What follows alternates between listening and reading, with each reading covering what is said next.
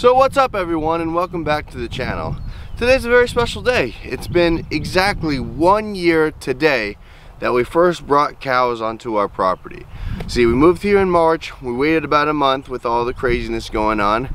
We saw the grass starting to grow up and said, you know what, we need cows. Why? Because I don't want to mow 30 acres. Plus that's what it's not here for, it's here to grow food. And the way that we've been doing it is we started with just three cows, now we're up to 21, and we've been rotationally grazing, moving the cows every day, mob grazing, whatever you want to call it. But we've been moving them every day around the pasture. They haven't stayed in the same spot for one day. They've always gotten new fresh grass. Some people say, oh, it doesn't work, it doesn't work. It's not worth the time, it's not worth the effort. But I want to show you the drastic differences that just one year in rotational grazing makes. You see, this is my neighbor's land over here, just on the other side of the fence. So we got Jordan right there. And the same guy that leased this pasture here also leased ours, where Jordan's eating. You can see the pasture that has been run in the same system that our side was run. It's full of dandelions. It's full of dandelions, it's full of weeds, it's not very green. Now look at our side. Look at this. Look at this. There is a drastic, drastic difference. Now I just moved the cows here. Let's look where they came from. This is kind of beat down, but it's still very green. We left a lot. Now those dandelions are a great indicator of what's actually going on in the soil. Let me show you why. You see, when dandelions grow, they have this is their main taproot right here. It likes to go straight down and then tries to break up the soil. Why is that? Because what they like to grow on is very compacted, hard soil. Why is that? Because nothing else really likes to grow there. Why? Because they like to have roots go this way. But with the soil really compact, you need a really tough taproot to go down and start to break it up. You see, the way that nature works is that it likes to be covered up. So it will put something or make something grow in an area where other things don't like it to grow. And when you have hard compacted soil that's been trampled on, trampled on, trampled on, it's gonna put usually a weed, either a dandelion in the early spring, or when we get into summer, it's gonna be that awful goat weed, woolly croton, whatever you wanna call it in your area. So again, this is the neighbor's field, and I don't know if it really does it justice. You can see all the dandelions start starting to come up. Why? Because that soil's very compacted that those cows that are on this field here were on our land just a year ago. Now on this side of the fence, are we perfect? No, this is where the cows have grazed and we have patches like right over here. I'll come show you. See, we have patches right over here of where dandelions are growing up. Now, what is this telling me? That the soil is more compacted here and that we might have to do a little bit of more work to help it grow back. But for the most part, I want you to look at our land look at this. You might be a little bit windy but look at that. That is green that is lush that is great. Now i don't mean to rag on my neighbor. He's a perfectly nice guy but it's just the difference in management styles. And you can see here that this is working.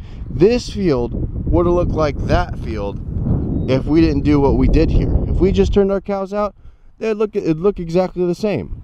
We still have a couple. We have a couple. But what this means what this is telling me is that because we're moving the cows, because everything that we're doing, that this soil has loosened up drastically over a course of a year. I mean, still, there's still places. I mean, there's not, we're not perfect. We're nowhere near perfect. You're never going to be perfect.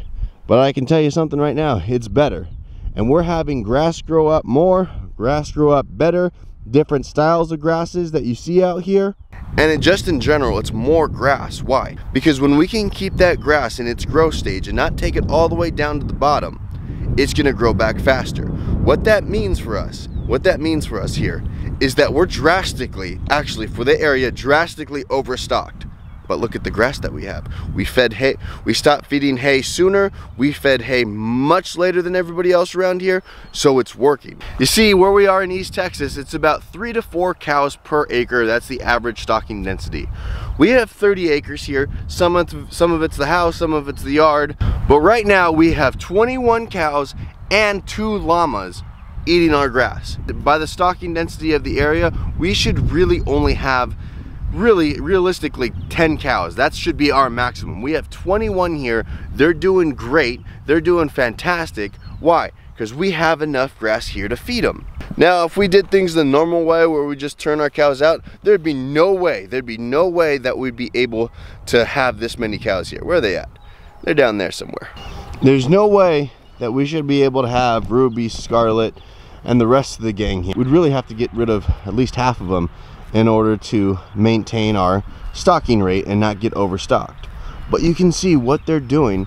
They're eating actually a pretty wide range of grasses for this is what April 5th. So they're getting a pretty diverse diet and it's green, it's healthy. This is where they came from yesterday. And the main thing with the rotational grazing is that they're getting away from that right there. You see their manure is, you see it's covered in flies now. And then what happens is in 12 days, parasites are going to come out of there. And if they're eating right around where their manure is, and usually they will because that's where the grass is if if you just turn their cows out. Why? Because that's full of nitrogen and the grass will start to grow up there when if you just turn your cows out, it still might look like that. So they just want a little bit of grass. See? Right there next to it. That's what I'm talking about. That's an old manure pat that they'd probably go for because they didn't want to eat right next to the ground. But the problem is, is they're eating right next to their parasites. You see, for our first year, I think we've done extremely well. Why? All the cows are healthy. We haven't had to work them. We haven't had to put them in a head gate. We haven't had to put them in a chute. Nothing. Why? Because we haven't had to. There's been it's been no stress, able to handle everything from the snow apocalypse to the heat of the summer no issues whatsoever. The only thing that we do is we do give them a wormer. It's not ivermectin. I will not do that stuff. I think that stuff is awful. All we do is Shaklee's Basic H soap, put a little bit in their water, and that will naturally worm them if they have any. That's just to make me feel good probably because one, they're longhorns, they don't pick up parasites. They just don't. Why? Because they're a more natural breed rather than all the other commercial breeds that have been bred to put on a lot of weight and a lot of meat. These guys, much different. And then secondly, they're not eating next to their parasites. They're never doing that. Why? We're moving them every single day. Even if you just move them every 11 or 12 days, it would be a big, big, massive help. And we just haven't had any issues. I mean, it's been easy. It's been perfect. I haven't gone out there, you know, having to try and shove medicine down a cow's throat. Haven't done any of that stuff. Why? Haven't had to. And it's great. Why? because we're moving the cows every day. We're moving them away from the parasites. I'm sure at some point something's gonna happen with one of them and we'll manage it. But this first year, we've, been, we've had them exactly a year. Zero issues, zero issues. And that's what I love. Very low maintenance, very low, you know, input. There's no, basically no inputs because we made our own hay this year. Probably won't do that again, but we still have probably at least, I would say 70% of the hay that we need for next year, or actually this year, already here. So we're going to be buying very, very little. We only fed hay for, I, I put them on hay for a while, then I took them off, but I took them off a little bit too early, then I put them back on. So we've only fed hay for about 50 days. Only 50, only 50 days. That's unheard of. The average people, the average rancher feeds hay for 180 days. Look at that cost savings. It's, it's mind-blowing. And what we did is we unrolled the hay and what we're, and what we're seeing on the other side of the farm where we did that, man, the grass is really growing up a lot better. But as you can see, the cows are happy, healthy, gaining weight, doing their thing, and loving life. I mean, there's we're finishing our own animals here too, so there's gonna be no feedlot. They're gonna be on this their entire lives. Isn't this pretty? Isn't this pretty? And the main thing, the main thing, there's no smell.